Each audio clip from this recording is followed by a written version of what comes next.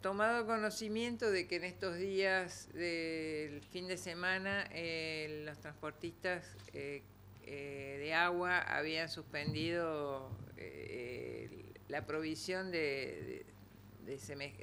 este vital líquido,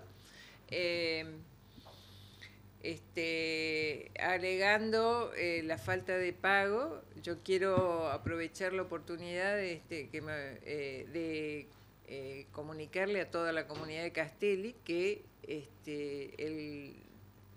compromiso del señor gobernador de eh, pagar eh, dos millones y medio de pesos de deuda al 31 de octubre de este año se cumplió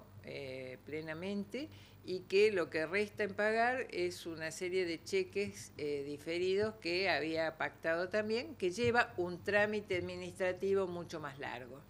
En ese sentido, entendemos que eh, la situación de cada transportista puede ser diferente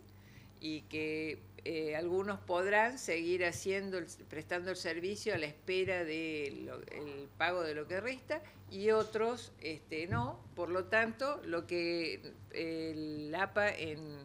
este, ejercicio de las atribuciones y responsabilidades que establece el Código de agua, de la ley 3230,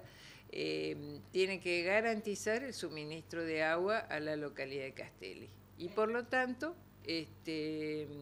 lo que decimos es que aquel que no pueda, eh, por sus condiciones económicas, este, seguir haciendo el servicio, prestando el servicio,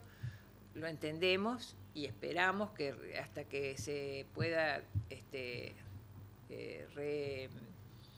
reacomodar sus finanzas y aquellos que eh, lo pueden hacer tengan la garantía de poder eh, prestar el servicio como corresponde, porque acá está en juego la vida y salud de una población, de una comunidad muy, importante como la de Juan José Castelli y por lo tanto nosotros tenemos que garantizar el abastecimiento de agua a esa localidad. Y bueno, gran parte de los transportistas están comprometidos con seguir prestando el servicio y hay una parte que no, que no pretende este, dejarlos trabajar como eh, desean el resto de los, de, los, de los, transportistas. Así que bueno, se está trabajando en eso y estamos por sacar un, un documento, una resolución desde el organismo donde este, pedimos la mayor comprensión y la colaboración de tanto de la comunidad de Castelli como de los transportistas. Vale aclarar también que en estas últimas lluvias que hemos tenido, lamentablemente la localidad de Castelli no se vio beneficiada como tantas otras que sí han tenido precipitaciones abundantes, como por ejemplo Pampa del Indio, donde también estaba atravesando una situación crítica, donde han llovido más de 115 milímetros. Y bueno, Castelli tuvo casi 30 milímetros, muy poco, y estamos también a la espera de eso, ¿no es cierto?, de las condiciones que se den como para poder recargar naturalmente la laguna y poder prestar nuevamente el servicio desde la cooperativa de agua.